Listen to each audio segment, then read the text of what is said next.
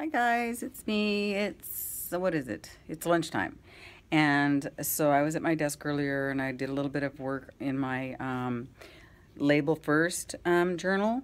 And I brought in some of the scraps from uh, Rachel today. And I just wanted to share what I did. It's just a small page. It was a quick page and it was a fun page. And thanks again, Rachel, for all the scraps. I really appreciate it. Okay? Talk to you guys later. Bye.